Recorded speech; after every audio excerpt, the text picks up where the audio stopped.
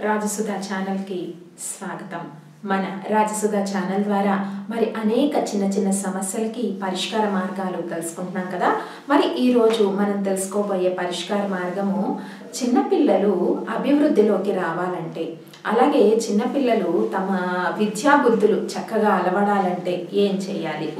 సాధారణంగా అందరి ఇంట్లో చిన్నపిల్లలు ఉంటూ ఉంటారు చదువుకున్న పిల్లలు ఉంటూ ఉంటారు. మరి వాళ్ళు చక్కగా చదువుకోవాలి కాన్సన్ట్రేషన్ లెవెల్స్ ఇంప్రూవ్ అవ్వాలి.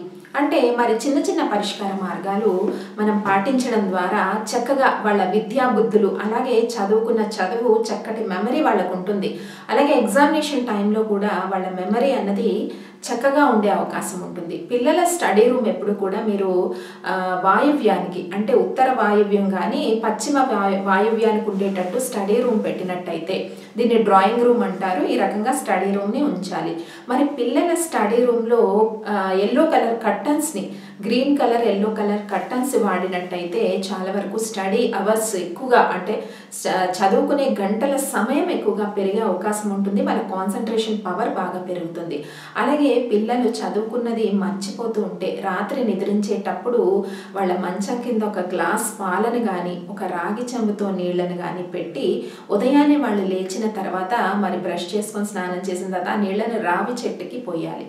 ఈ రకంగా చేసినందువల్ల చాలా వరకు పిల్లలు కాన్సన్ట్రేషన్ లెవెల్స్ పెరుగుతాయి. స్టడీలో హార్డ్ వర్క్ చాలా వరకు పెరిగే అవకాశం ఉంటుంది.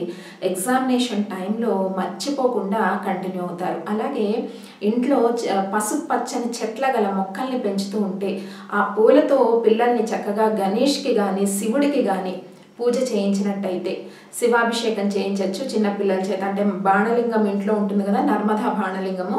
దాంతో అభిషేకం దాని మీద చక్కగా నీళ్ళు పోసి పసుపు పచ్చని పూలతో పిల్లల చేత పూజ అంటే కనీసం సోమవారం ఒకరోజైనా గణేష్కి శివ అలాగే శివుడికి అభిషేకం చేసినట్టయితే గణేష్కి చక్కగా నైవేద్యము సమర్పించవచ్చు ఏదైనా లడ్డు కానీ ఉండ్రాళ్ళు కానీ ఇలాంటివి ఇలా చేసినట్టయితే పిల్లలు చక్కగా అభివృద్ధిలోకి వచ్చే అవకాశం ఉంటుంది.